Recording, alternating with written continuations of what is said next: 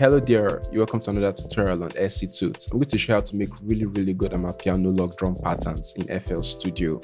Now these steps I'm going to show you are really easy to follow and you can mess it up even if you try. And if you're new to the channel, hit the subscribe button and let's get started. Alright, so we have our drums and our um, shaker loop and a simple chord progression. Let's listen to it and see how it sounds.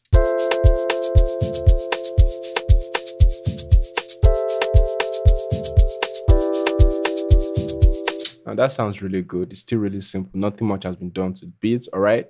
So we're going to be using um log drum that is from FL Studio DX10. And if if you want to find it, just right click um uh, an empty um clip, right, and go to insert, and then you come to um FL Fruity DX10. It's a stock plugin, it's not a third-party plugin, and it comes with I think all versions of FL Studio. So when you get it, you're going to look for the presets, right click the presets. You're going to see um, log drum somewhere at the bottom. You can just hit L on your keyboard and it's going to just take you straight to the log drum pattern, um, log drum sample. Okay, and when you play it back, really, really clean, straightforward to use and simple to use, right? So now let's see how we can make our log drum patterns. Okay, first thing we need to make sure we follow our chord progression, and this is our chord progression right here. So we're going to copy the chords, right click here, copy and paste it in the sampler. And if you don't have a sampler on your channel, you can simply right click, go to insert, and then you see sampler right here. Just press S on your keyboard and you can see sampler right here. You can insert it, okay? So we're going to paste it right here. And since log drum is a bass element, so that means it's going to really shine within the fourth between the third, fourth, and the fifth octave. Okay, so so this is F5 means it's on the fifth octave already. So we're going to um, select this, shift this right, and then have this. This now this at the fourth octave, and then have the same at the um, third octave. Okay, because we're going because we may need to go really really low, and you see why shortly. Okay, so now the next we're going to do is we're going to follow the bass note of our chord so this is it, this, and then this F, right? Then um, A, A, then it goes back to E, okay? So we're going to select this, select this, select this, right? And then we're going to copy it, okay? Then we're going to paste it. Um, go to piano roll, then paste it right here.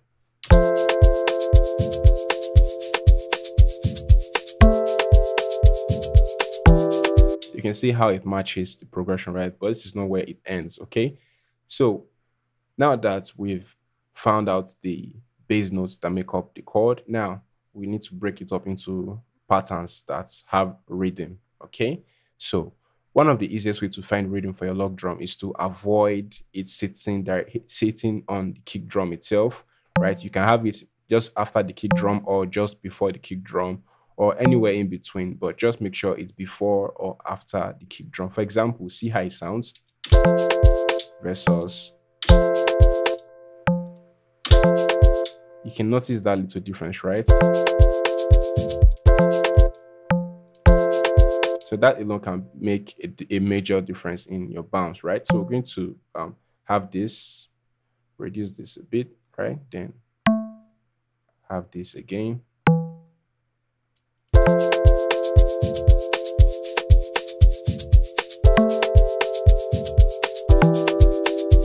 So you can see this is already, it's already getting more interesting. So let's break it up into more patterns, right? And if you're a beginner in making melodies, because log drums are also quite melodic, right?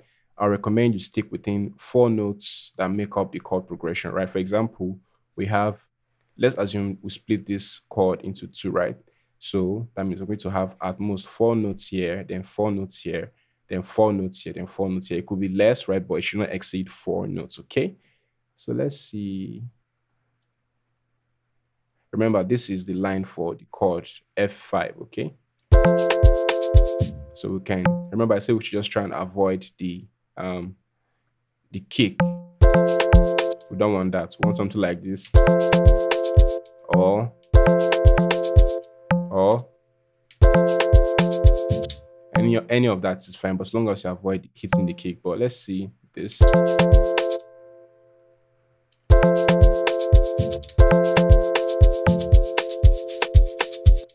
Let's have now we use just three notes for now. Then let's make another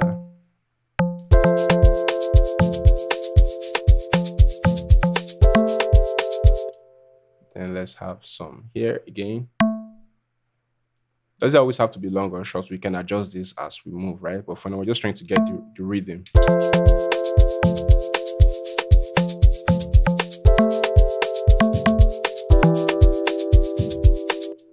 Right? So we're just trying to get the rhythm. So it, it really doesn't matter. We can always adjust the rhythm as we progress.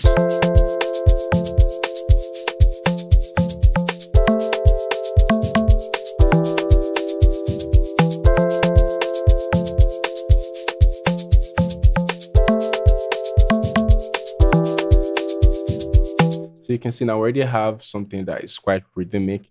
So now let's make it a bit melodic, okay? And when we're trying to create melodies, we also don't want it to sound overly melodic, right? We want to keep it really, really simple. And we can play within any of the gray lines, right? So if let's say um um here, right, I could reference a gray note from the other chords and place it there. Okay. So let's say we have this, for example. Or let's use this.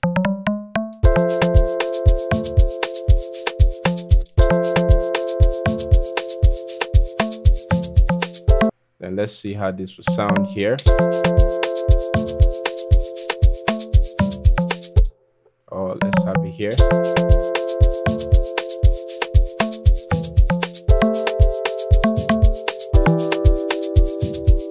So now let's keep it really simple. We have a really nice melodic and rhythmic um, log drum.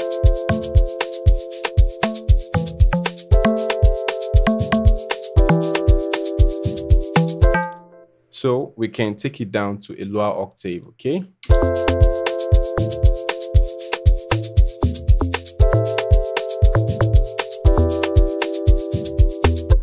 And now there are some things you can do to spice up your log drum by introducing log drum rolls, like the sound you hear in um in log drums. Okay, so so we can introduce that before this guy right here. No, let's use this notes because we're supposed to restrict ourselves to four notes, right? Let's say tools. We'll come to this drop down icon right here, then go to tools, then come to chop.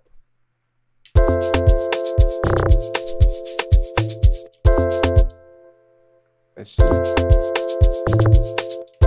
Let's, it may not sound like much. When I take it down to lower octaves, here it sounds.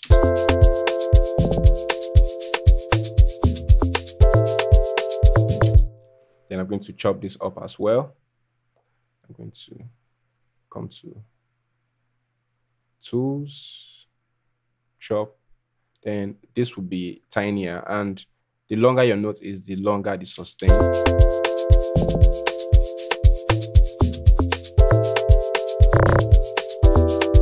So let's take it down to a low octave.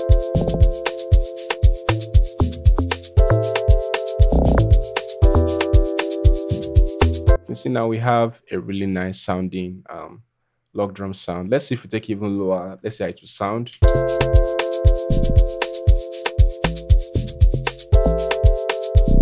Let's take these guys up here.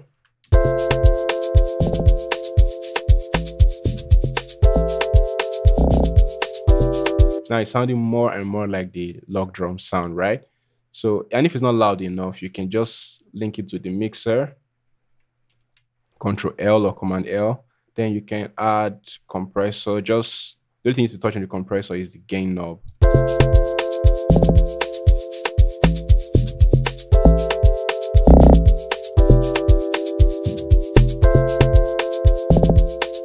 Here we can adjust display this a little bit by making it sound like it's sliding in. And do the same here again as well.